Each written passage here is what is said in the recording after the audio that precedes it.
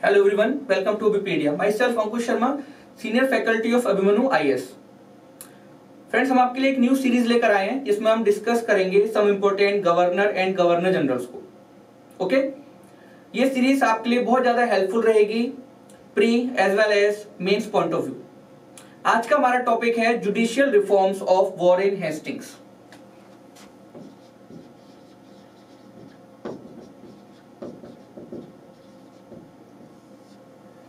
Warren Hastings.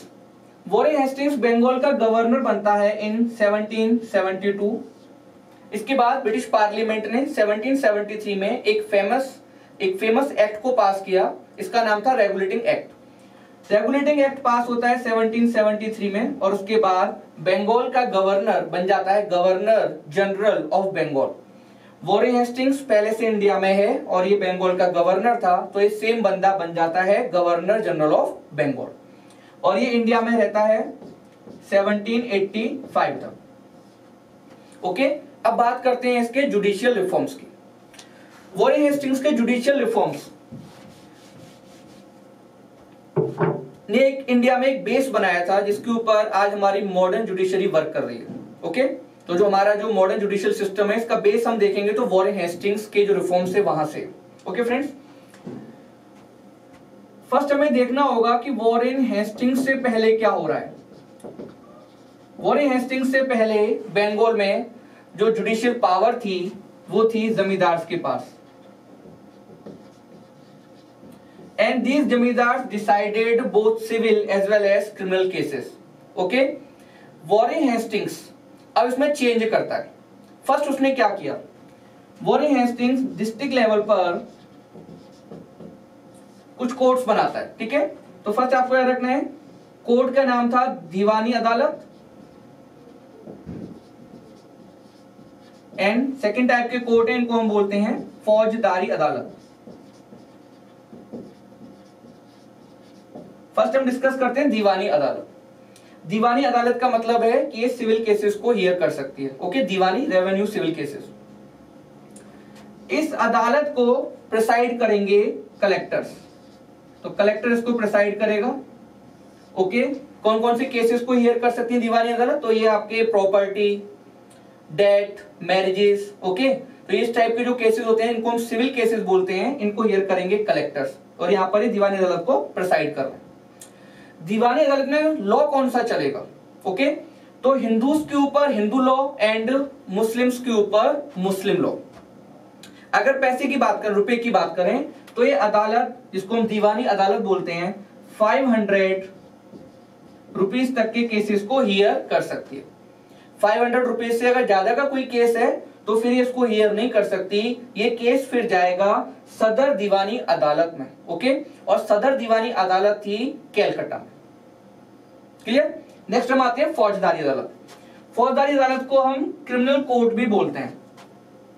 फौजदारी अदालत को प्रिसाइड करेंगे इंडियन ऑफिसर्स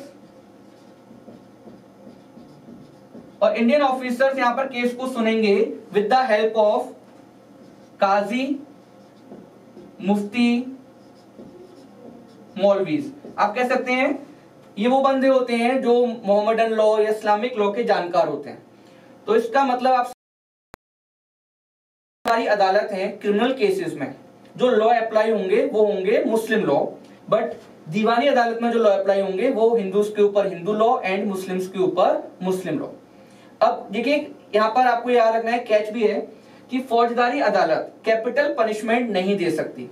अगर इसको कैपिटल पनिशमेंट देना है तो उसको सर्टिफाई करेगी. इसके ऊपर जो अदालत है, इसको हम बोलते हैं सदर निजामत अदालत. और सदर निजामत अदालत है मुर्शिदाबाद में। ओके? जैसे मैंने आपको इधर भी समझाया था फाइव हंड्रेड रुपीज़ के ऊपर जो केसेस हैं, वो सदर दीवानी अदालत में जाएँगे जो कैलकाटा में। ठीक है? क्लियर अब देखिए क्या होता है। 1773 1773 के अंडर में इंडिया में एक सुप्रीम कोर्ट यहाँ पर एस्टेब्लिश किया गया। सुप्रीम कोर्ट बनता है कैलकाटा में। तो यहाँ पर कैलकाटा में सुप्रीम कोर्ट बन चुका था। अब सुप्रीम कोर्ट के अंडर में जो भी ब्रिटिश सब्जेक्ट हैं, ठीक है? इंडिया में जो भी ब्रिटिश सब्जेक्ट हैं, वो इसके अंडर में आते हैं। इंडियन सब्जेक्ट की अगर हम बात करें तो कैलकाटा और इसकी सबोर्डिनेट फैक्ट्री जो थी, ठीक है? वहाँ पर इंडियन सब्जेक्ट भी इसका ज्यूरिस्डिक्शन है।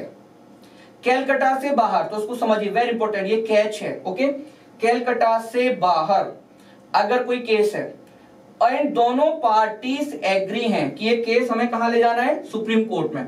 तो फिर दोनों पार्टी सुप्रीम कोर्ट में इस केस को ला सकती हैं। ओके? यहाँ पर लॉ की बात करते हैं। तो सुप्रीम कोर्ट में जो लॉ अप्लाई होंगे, ये होंगे इंग्लिश लॉ ओके फ्रेंड्स आप समझ सकते हैं प्रॉब्लम यहाँ पर होनी थी। बिकॉज़ यहाँ पर हिंदू लॉ मुस्लिम लॉ इधर मुस्लिम लॉ और इधर इंग्लिश लॉ इनका जुरिडिक्शन क्या है? ये दूसरे के ऊपर प्रेसाइड कर रहे हैं, नहीं कर रहे हैं तो इस बात को लेकर यहाँ पर प्रॉब्लम चलती रहती है। वॉरिंग हेस्टिंग्स का सॉल्यूशन नहीं दे पाया था। बाद में कॉर्न आता है। कॉर्न कुछ दूसरे रिफॉर्म्स को यहाँ पर लेकर आता है, वो हम नेक्स्ट वीडियो में डिस्कस करेंगे। तो ये था वॉरिन हेस्टिंग्स, जिसने यहाँ पर एक मॉडर्न जुडिशियल सिस्टम लाने का ट्राई किया और उसके बेस पर आज हम वर्क करते हैं, हमारी जुडिशियरी वर्क करती है। ओके फ्रेंड्स देन होप आपको हमारा वीडियो पसंद आया होगा। इसको लाइक करिए शेयर करिए और हमारे यूट्यूब चैनल को सब्सक्राइब करिए। Okay thank you